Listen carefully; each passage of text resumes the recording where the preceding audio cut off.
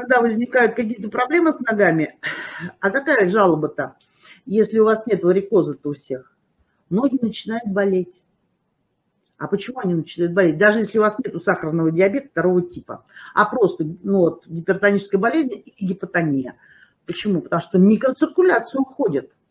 А что она там питает-то, микроциркуляция Это помимо мышц и костей? Ну, кости-то вообще могут несколько часов жить без кровотока. Вот, что она там питает-то самое главное, сосуды? Нервы. И вот тогда развивается полинейропатия. И вам ничего не поможет, потому что ваш нерв оголяется от миелиновой оболочки. И это то же самое наступает у диабетиков, которые э, живут на низких сахарах, это там 70 лет, у них сахар норма там 5 им говорят. А вы знаете, что в ноге сахар 2,5? Вот. Так что очень много надо знать. И про себя самое главное. Поэтому, если вам 50 лет уже или 60 лет, вы должны держать, вот эти показатели, вы должны знать, это считается показатели здоровья. Можно другого больше ничего не смотреть. Понимаете, уже все сказано. Если у вас гипертония 20 лет, то это уже очень большой привет всем капиллярам. Вот, и, соответственно, нарушается питание нервов, ну и всех окружающих тканей. И чем это заканчивается? Или язвами, или гангренами. Потому что нет питания, нет оттока, не уходит э, все, все, что там накопилось за долгие годы. Понимаете, вот это как бы я вам хотела сказать. И поэтому у нас есть церебрум нулевой. Это универсальнейший продукт. Просто это волшебнейший продукт, который вот, ну я не знаю, нам просто Господь послал нашей компании. Ну, салютом нейр, это понятно все. Но церебрум, церебрум – это продукт, который восстанавливает миелиновые оболочки, которые после 40 лет синтез миелина в организме начинает сокращаться. Что такое старость? это уход активно работающих гормонов. Так вот наш церебрум, как он действует, я вам на его примере объясню, как действуют вообще все наши препараты. И органоспецифические, и энергоинформационные, они все у нас, они у нас все, вот органоспецифические препараты, препараты, они тоже энергоинформационные, только в своем поле. Значит, как все, и, ну уж про энергоинформационные чистые, там салютом, это все понятно – они действуют по одному принципу, потому что для того, чтобы что-то подействовало на наш организм, в этом организме или в нашем препарате должно быть одно и то же. Понимаете, если клетка не определяет, что это свое, и это не опасно для нее, и для вас, соответственно, ничего не произойдет. Вообще ничего не произойдет. Просто, ну, как бы выйдет эта вода и все. Поэтому в церебруме находится матрица миелиновых, миелиновой оболочки, матрица. И когда вы начинаете пшикать его, почему мы говорим, пшикайте на слизистую, никакие воду ничего не добавляйте, препараты все готовые, хватит там вот эта самодеятельность не заниматься. Вот, значит, пшикайте, ту же секунду через энергоинформационную систему, это все попадает сюда, э, идет через электромагнитное поле нашего организма, нашего организма, а электромагнитное поле у нас в организме образуют сами клетки, потому что у нас в сосудах, это я вам просто напоминаю, чтобы вы не удивлялись, и, и течет наша кровь. Эритроциты содержат железо. Если есть ток крови, образует с железом. Если есть ток, кровоток наш, то образуется что? Электричество, но очень маленькие дозы. А вокруг электро, электро, электрического поля образуется электромагнитное поле. Поэтому электромагнитное поле в ту же секунду всем клеткам передает эту информацию о церебруме. Всем 200 триллионам клеткам вашего организма. передается информация о церебруме. Что клетка делает? Клетка синтезирует нейропептид, нейропептид, церебрум, то есть мелиновый, гормоноподобное вещество, каждая клетка. И тут же отвечает иммунная система.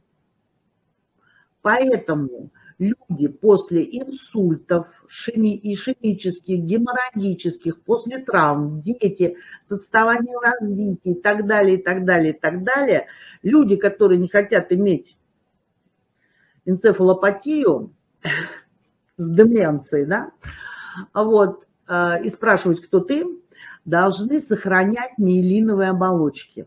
Так они у вас будут восстанавливаться не только здесь, по миелиновым оболочкам эм, идет электронный импульс.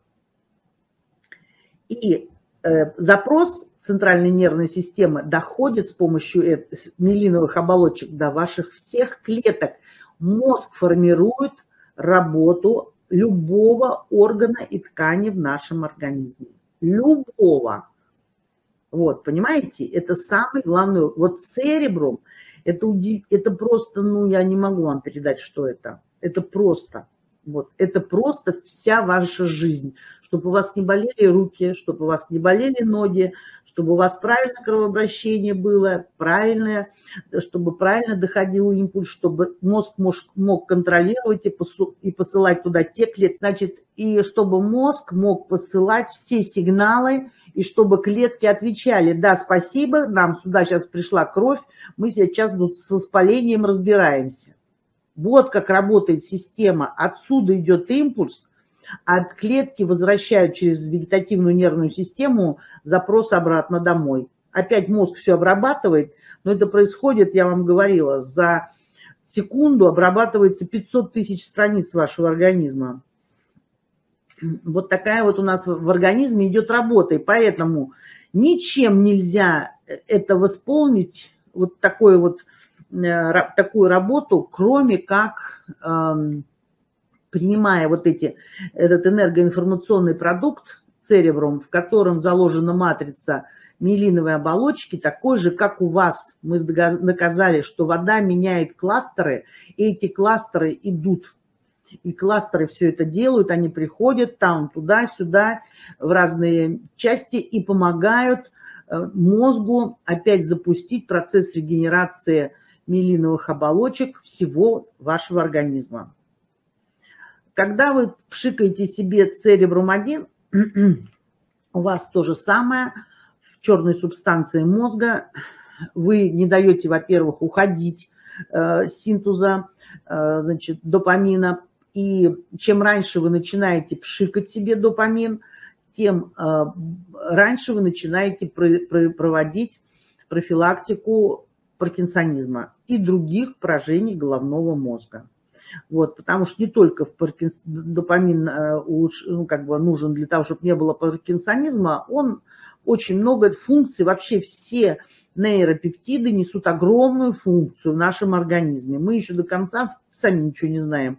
Но, в общем-то, знаем, что это очень большой, больш, вообще все, что делает вот эти вот вещи э, в гипофизе, которые находятся, вот особенно э, допамин, мелатонин, это наш, мелатонин это наши ритмы, и все почему-то думают, что он вырабатывается только ночью. Ну нет, 30% мелатонина вырабатывается ночью, 70% вырабатывается, когда мы с вами едим. Потому что у нас эндокринная система представлена в желудочно-кишечном тракте клетками. Это у нас в эндокринологии называется МН1 и МН2. Но это вот расположение этих клеток, и это эндокринные органы тоже – и во время пищеварения мелатонин вырабатывается, он лучший антиоксидант и лучший противоопухолевый препарат. Его захватывают очень много клеток. Он у нас, кстати, мелатонин на сетчатке тоже вырабатывается. Вот, и в других еще органах.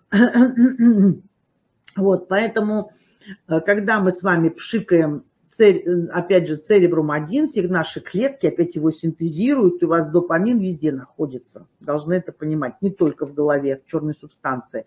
То же самое мелатонин, вы пшикаете, неважно, там утром, днем, вечером, все равно у вас в течение дня он тоже вырабатывался. Ну и самое главное, чтобы клетки не уходили, которые синтезируют эти гормоны в гипофизе. Вот это самое главное, потому что каждые 10 лет, после 25 лет, когда начинается старение организма, после 25 лет, каждый, после, каждые 10 лет начинает уходить под несколько процентов активность гормонов. Вот это вы ничем не можете, понимаете, ни, ни таблеткой номер 5, ни пищи, да что бы вы там ни делали.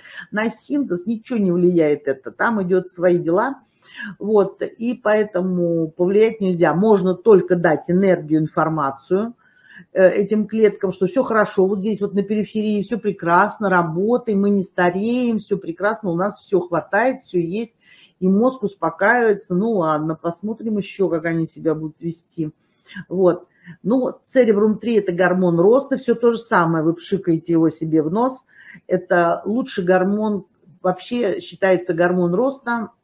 Это э, э, гормон, который дифференцирует, то есть не дает образовываться злокачественным клеткам в нашем организме. Благодаря ему мы растем, растут все наши органы и ткани растут и так далее, и так далее. Но только до 25 лет. Вот, к сожалению. Если бы мы с вами могли бы хотя бы на один микрон в год расти, то мы бы с вами не старели. Потому что доказано, что люди долго... Ну, вообще, программа закрыта у нас это, но вообще есть животные у нас, которые не стареют, они растут всю жизнь и размножаются. 150 лет лучше, чем 25. Вот, поэтому Гормон роста, он очень важен, и мы его пшикаем, и то же самое, сразу все клетки синтезируют гормоноподобное вещество, нейропептид, и тут же отвечает ваша иммунка, потому что гормон роста – это мышечная масса, гормон роста – это костная масса, гормон это роста – это уменьшение жировой массы, не, на, не наращивание ее, наша энергия, хорошее настроение и т.д., и т.п., и т.б. Вот, это гормон роста. Ну и, конечно, хит. Хит, который у нас тоже появился, это церебрум 4. Это паутинная мягкая мозговая оболочка, который, э, вот я рассказывала тоже презентацию, мне кажется, на, в тот раз, когда мы общались тоже, вот по, школе, вот по этой школе, тоже Савицкая вела, вот, я рассказывала, э, что такое на сегодняшний день современное понятие поражения головного мозга, э, что происходит, когда у человека гипотония, что происходит, когда у человека гипертония. Норма должно быть 120 до 140 и нижняя 60 до, 100, до 60 до ну, 60, там, 60, 70, ну, до, до 85, вот так вот. Не обязательно 120. Вот, если у вас давление, знаете, у каждого свой пульс, у каждого, мы вообще все разные, нас в одну решетку ставить не надо. Вот, все эмоциональные по-своему, но давление нужно держать. Почему? Оказалось, что при гипертонической болезни не страдают особенно-то круглые, крупные сосуды там, а страдают сосуды, которые занимаются обеспечением питания нейрона. Нейрон, он избалованный ребенок. А, вот нейрончик, а вокруг него э, находится 1500 оболочек, в том числе и миелиновые, они самые большие оболочки. И вот он сидит в этом детском саду всю жизнь, нейрон. И напротив такой же сидит нейрон, тоже. Почему? Потому что э, я вам говорила, что центральная нервная система полностью не зависит от иммунной системы. Вообще иммунки нету у нас э, там, потому что вот эти вот оболочки, которые окружают нейрон, ликварные, они ему и иммунная система, и эндокринная система, и еще они ультрафильтрацию крови делают, чтобы ничего лишнего, что не нужно, не попало туда. Вот, понимаете? И вот от каждого нейрона отходит иногда тысячи, иногда миллионы аксонов. Вот аксоны – это и есть нейральная сеть нашего мозга. И вот как раз вот эта сеть, самое главное, ну, скажем так, наши все когнитивные функции, то есть это ваш интеллект, это ваши знания, навыки, все, что мы учим всю жизнь, находится в лобных и височных долях. И вот когда у человека давление высокое или низкое очень давление, у него, особенно при высоком давлении, идет расслоение как бы белого вещества вот этих долей, которых я вам сказала, лобных и височных. И э, человек начинает терять свои когнитивные способности. Вот так формируется заболевание мозга на сегодняшний день. Что делает четверка? Четверка улучшает микроциркуляцию паутинной оболочки мозга, которая лежит на мягкой мозговой, и улучшает ликварный отток. То есть вот эту микроциркуляцию, до которой дотянуться практически нельзя, делает четверка. Пятерка – это вегетативная нервная система, которая у нас... И когда вы себе четверку пшикаете, тоже чем раньше, тем лучше – была бы возможность, я бы ее там с 30 лет себе бы пшикала, но не было такой возможности. Вот, ну, я думаю, что многие заметили, что у многих э, очень люди говорят, что проходит э, мигрени, проходят головные боли. Вот сейчас вот у нас в Москве просто туман, блин, минус 6. Вот я ехала, было солнце, сейчас у нас снег идет.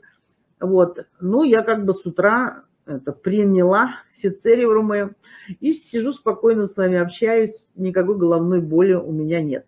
Поэтому церебрум 4 – это просто подарок судьбы, просто подарок судьбы. Он не только нормализует э, э, значит, микроциркуляцию крови в нашем головном мозге, но еще и отток ликварной жидкости, потому что ликварная жидкость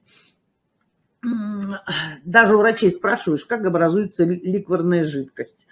У нас, ну, все вы, наверное, знаете, что у вас в головном мозге есть э, желудочки головного мозга. Говорит, вот расширение, повышение внутричерепного давления. Это вот про них говорят.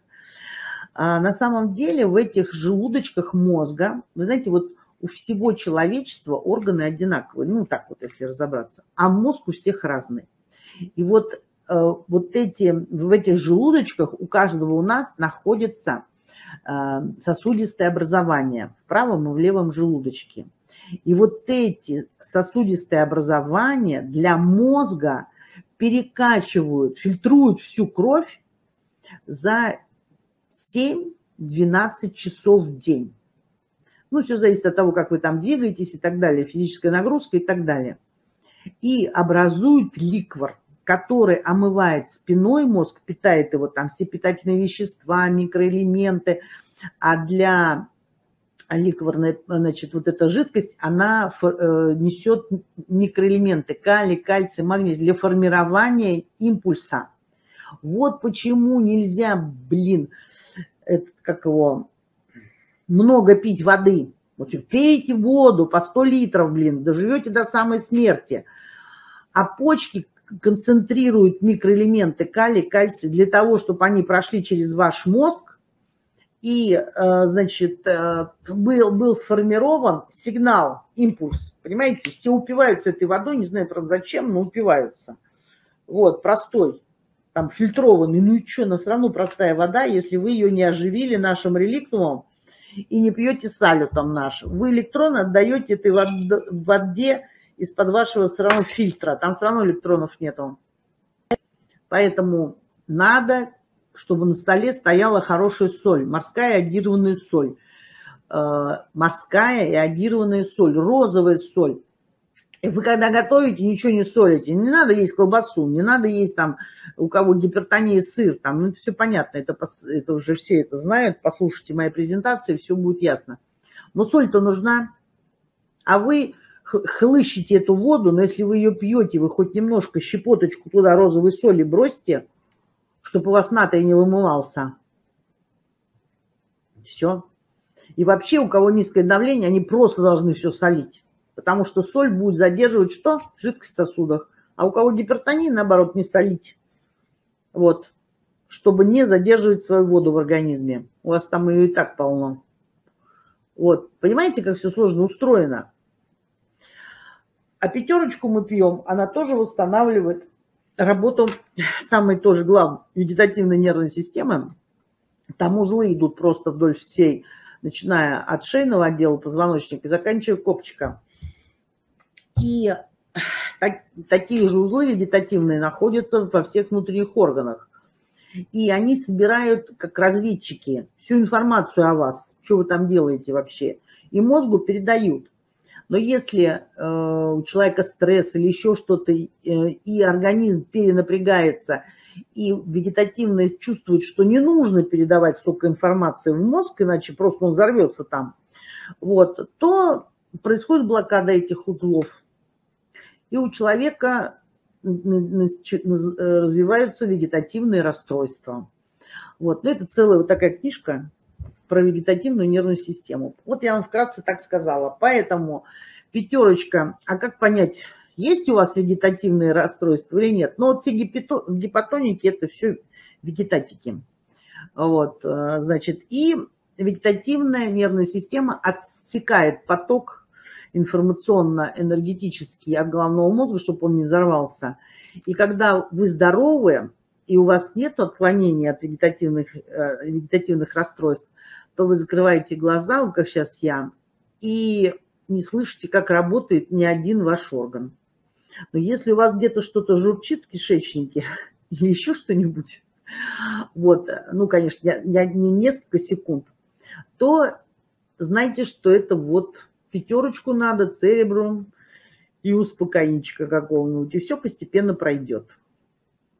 Так, и самое главное, это профилактика полинейропатии, наши препараты, особенно церебрум, и вот этих всех заболеваний органических мозга возрастных.